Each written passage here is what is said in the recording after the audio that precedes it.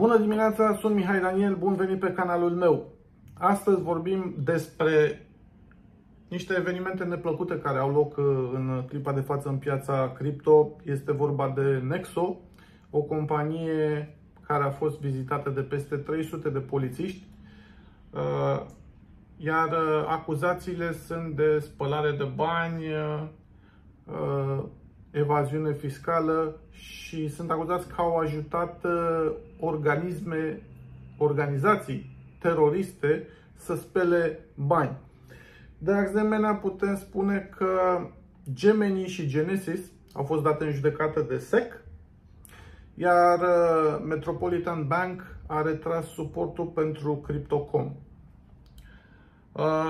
Uh, nu știu dacă este un semn foarte bun, poate să fie ceva nesemnificativ, însă întotdeauna uh, mă gândesc cu grijă la cei care au banii pe Crypto.com uh, prin prisma unor lucruri.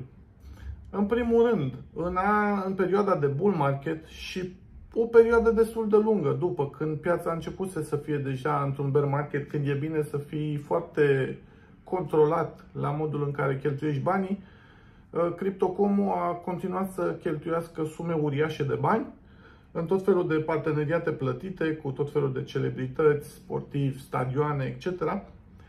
Și lucrul ăsta mă face să mă gândesc la scenariul celor de la FTX. Și acolo se aruncau cu banii și acolo existau contracte de publicitate de ordinul zecilor de milioane de dolari.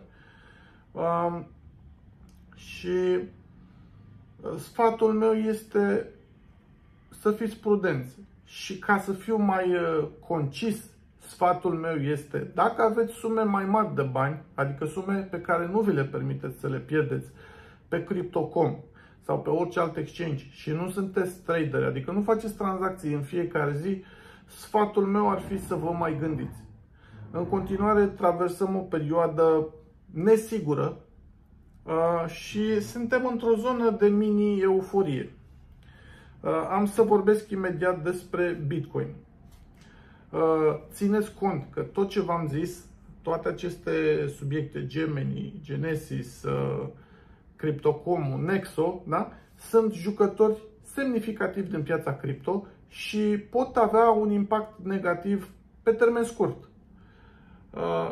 Dar, înainte de toate, permiteți-mi să vă urez poftă bună la micul dejun, poftă bună la cafea, să aveți o zi extraordinară eu mă aflu într-o zonă a planetei unde sunt uh, cu vreo 3 ore mai devreme decât România, așa că am așteptat cu nerăbdare să fac acest uh, clip.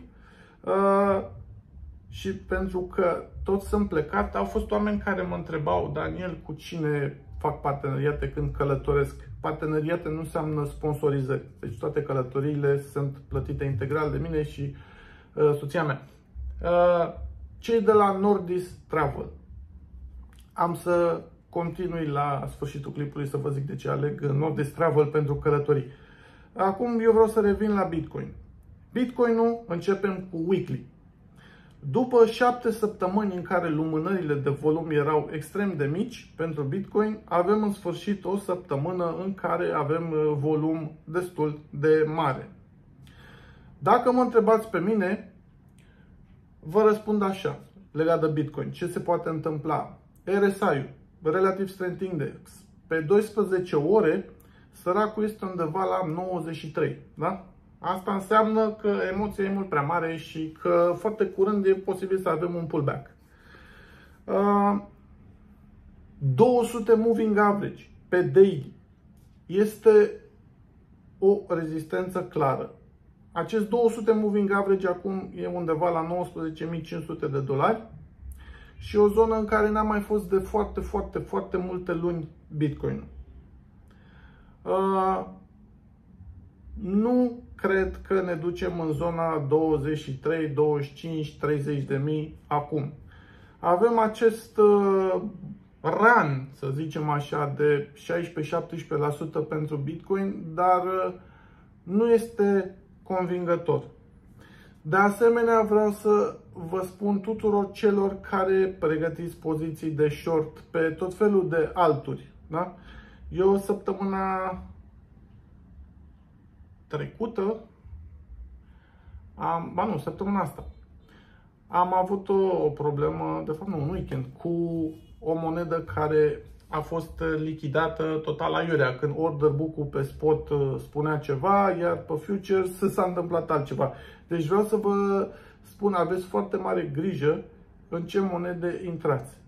Deocamdată nu avem confirmare de trend reversal.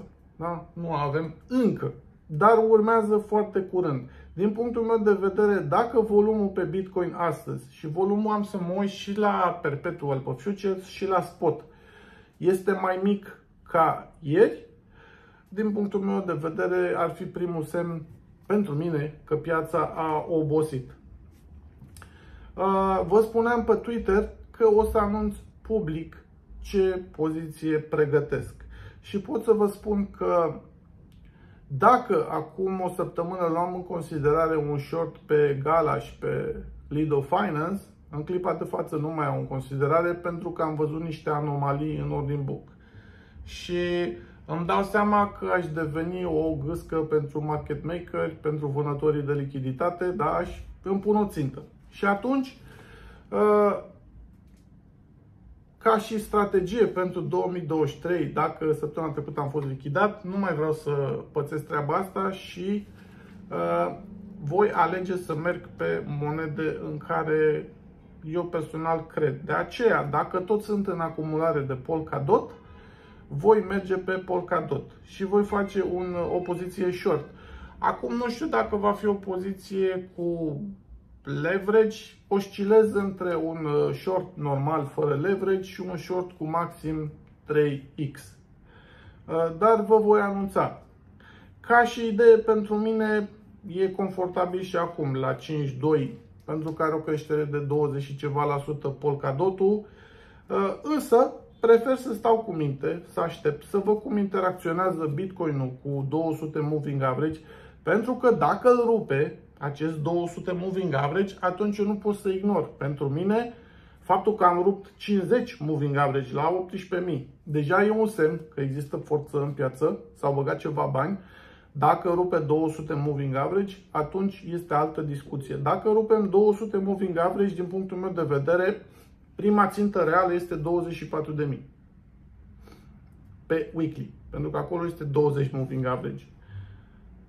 De asta, uh, vă spun, nu pot face public încă un, o poziție pe care o iau, pentru că nu o iau. Dar v-am spus ca să vă faceți o idee. Da, vreau să intru într-o poziție short pe Polkadot pentru că eu fac acumulare pe acest proiect.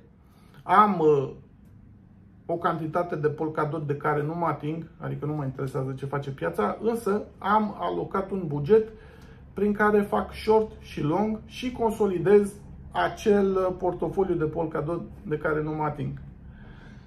Dragilor, mă găsiți pe mihaidaniel.ro Uh, acolo găsiți cursul meu de tranzacționare, cel de 4 ore, găsiți și linkurile mele oficiale.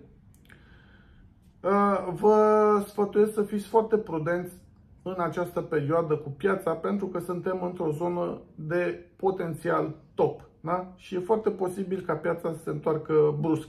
De aceea vă zic, încă nu iau poziții, aștept să văd cum decurg lucrurile, să văd dacă primesc o confirmare de trend reversal, dar eu mă aștept ca trendul să se întoarcă dacă nu depășim acest 200 moving average.